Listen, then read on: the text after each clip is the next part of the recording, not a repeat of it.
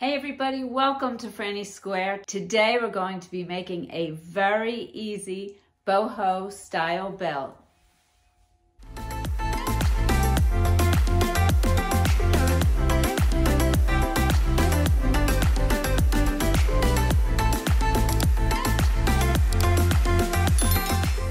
So as is often the case, this belt was born out of necessity. I'm going to my sister's house for lunch today and I wanted to wear this blouse. As you can see, it's longer. I didn't want to tuck all of that in. It gets bunched up and it doesn't look good. And if I just let it hang out, it's not really stylish and doesn't have a lot of shape. So I thought it would be great to make a quick and easy belt. And I love the boho style. So that's when I came up with the design for this belt. When I was figuring out which yarn to use for this belt, I knew the look that I wanted, kind of like a macrame kind of look. And I was talking to Misty Dawn. Many of you know her from our show and tell, which is now called Crochet and Tell. And she's submitted many projects and she's very talented. So I was speaking with her and I was saying, what type of yarn do you think would be good for this project? Because I didn't want something that would uh, stretch too much or pill too much. And she suggested getting a mercerized cotton.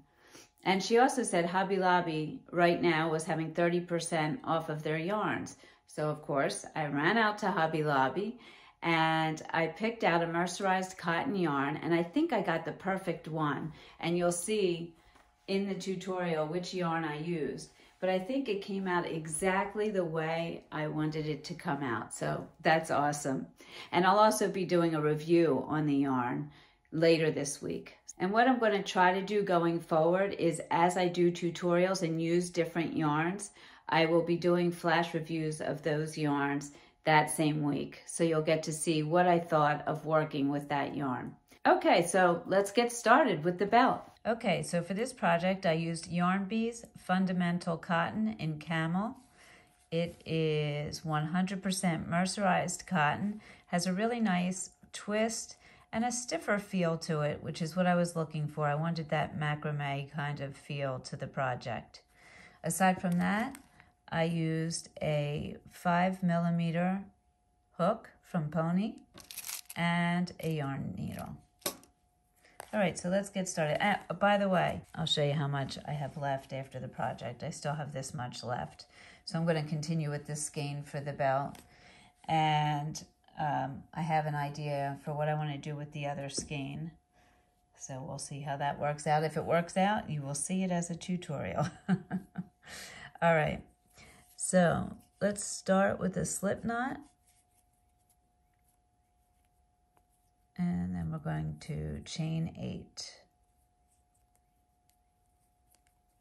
This is a very simple pattern, perfect for a beginner. Two, three, four, five, six, seven, and eight. Okay. Now we're going to go into the second chain from the hook, and we're just going to do a single crochet. And we're going to do that all the way down in each chain. So a single crochet, just put your hook into the loop, pull up a loop, and pull through both. Put your hook into the chain, yarn over, pull up a loop, and pull through both. There you go, just continue that all the way down you'll end with seven stitches.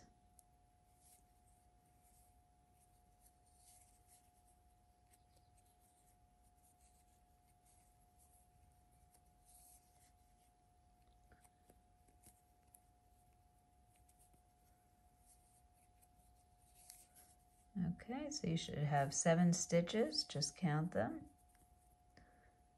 One, two, three, four, five, six, seven. Perfect. Chain one and turn.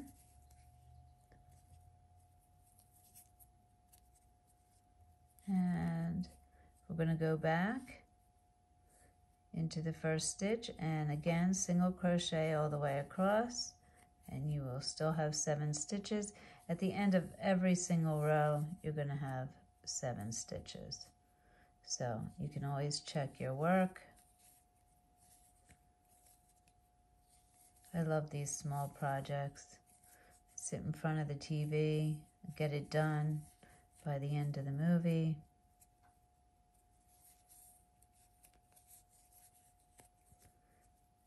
And when you have less stitches, it's easier to keep count. Okay, should still have seven. One, two, three, four, five, six, seven. Perfect. And we're going to do the same thing. Chain one, turn, do single crochets across. This is row number three of single crochets. We're going to end up doing four rows of single crochets. Okay, so now we have four rows of single crochets.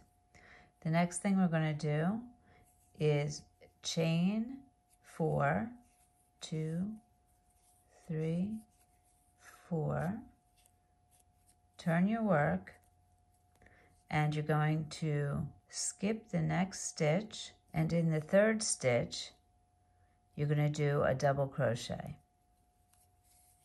Okay. So this first chain four counts as a double crochet plus a chain. Now we're going to chain one, skip a stitch, and in the next stitch, we're going to double crochet,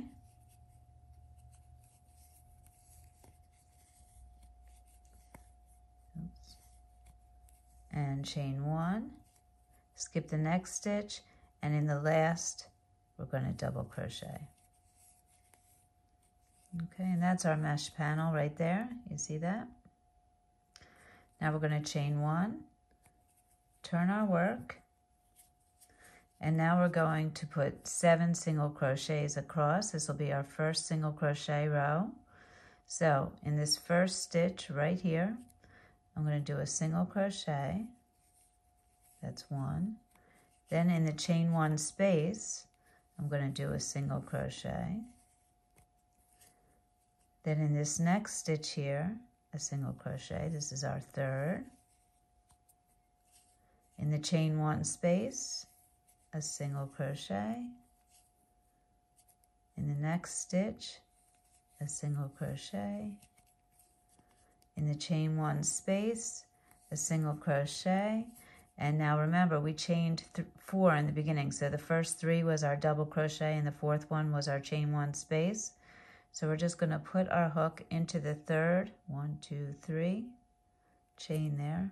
That's a can be a little bit tough. Get it in there. And single crochet. And now we should be back to seven single crochets. One, two, three, four, five, six, seven. Perfect. We're going to chain one and do three more rows of seven single crochets and this is going to be our pattern. Four rows of single crochet and then one mesh panel row. And it's that simple. This yarn is so easy to work with for this type of project. There's no splitting. And you can see your stitches very clearly. Makes for a great beginner project. Okay, chain and turn. I'm going to do one more row of single crochets. Okay, now we're going to do our mesh panel. So we're going to chain four, one, two, three. That's my double crochet and chain one for the chain one space. Then I'm going to skip a chain. This counts as my first. Double crochet and chain one. So I'm going to go to the third, one, two, three, stitch, and I'm going to do a double crochet in that. Chain one. Skip the next stitch. Double crochet in the next. Chain one. Skip the next one and double crochet in the last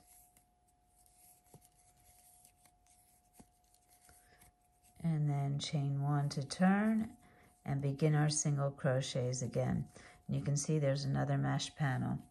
So just to review how to go your single, how to do your single crochets across here, we're going to go into the first stitch, put a single crochet, a single crochet into the chain one space, a single crochet into the next stitch, a single crochet into the chain one space, and continue that down. You should have seven stitches. Remember when you get to your last one, that's the chain one space, and the first three chains were my double crochet. So I am going to do my single crochet into that third chain there, and chain one and turn. That was my first row of single crochets. I'll do three more.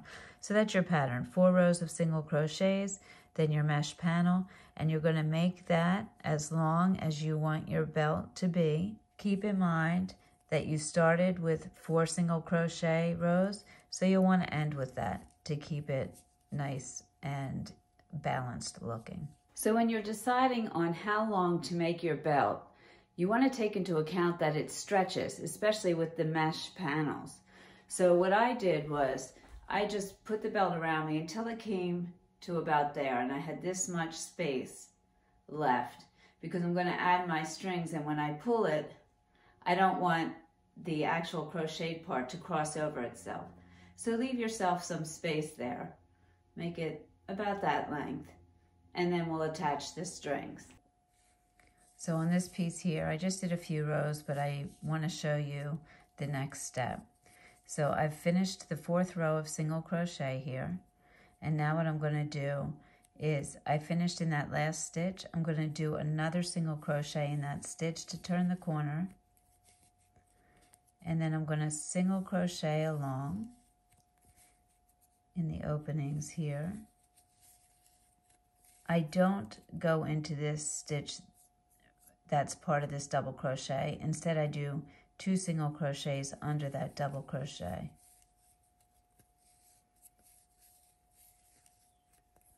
And then again, I don't go into this stitch here. I'm going to go into the three middle ones. One, two, three, right there. So single crochet here, if that makes sense. Here and here. Again, I don't go into that. I go under the double crochet twice. And continue around doing that.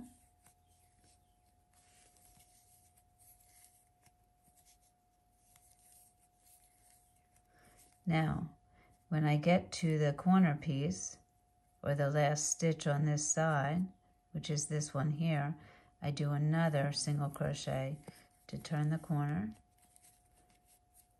and then I just continue along. Now you have single crochets on this side, so that's easy. You go into each single crochet once and do a single crochet.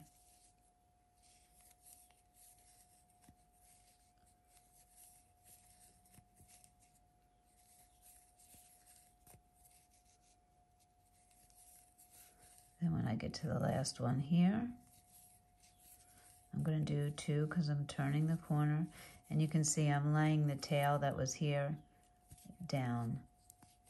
I'm just going to continue and work over it. Whenever I can work over a tail, I do it. the less to sew in, the better. Okay, and now I'm going to do two underneath my double crochet. One, two, go, lay this tail down, and then I'll continue. You're going to do that all the way around.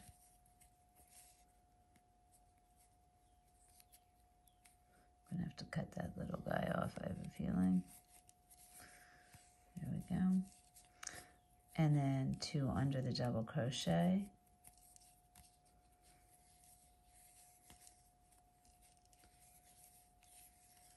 And you can see it just makes it look more finished along the edge. And then I'll fasten off and weave in my end. And next we're going to attach the strings. Okay, so what I did was I cut seven pieces of yarn, 30 inches long each, for my strings for each side. So you're going to need 14 total strings, 30 inches long is what I used. You can use whatever you like. And all I do is I fold the string in half. Make sure it's even at the bottom, like that. And I have this loop at the top. And then in my belt, I don't go into the very top row, I go down to this row. And all I do is I put my hook in, grab that loop, pull it up, then I yarn over with both ends and pull it through that loop, just like that. The way you would do fringes, basically, on something. And there's my string for there. Then I'll take the next one, same thing, fold it in half so that the ends are the same.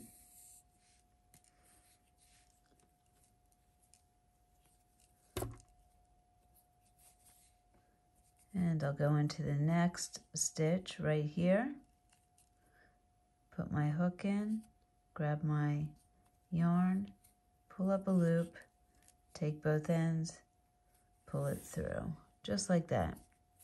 And I'm going to do all seven stitches, one, two, three, four, five, six, seven. So it'll look like this. I already have the other side done. You can see that there. And then your belt is complete. You can put it on and tie it. Now once you tie it, you may see that they're a little bit uneven, your strings at the end. See that? Just like that. No matter how hard I try, they're not exactly even. I just snip them and make them even. Okay, so here's the finished belt, and you can see the single crochets around the edge. I consider that the right side of the belt. The wrong side, you don't see the single crochets. And then to put it on, I just wrap it around my waist. Hopefully you can see here. Hopefully I'm standing far enough back. And I knot it and I make sure the knot is in the center between the two sides. Just kind of hold it there and then knot again. Just like that. There you go. You can blouse your top over top. Just like that. Okay, so I hope you enjoyed that tutorial. If you're making this belt, I'd love for you to send pictures for Crochet and Tell.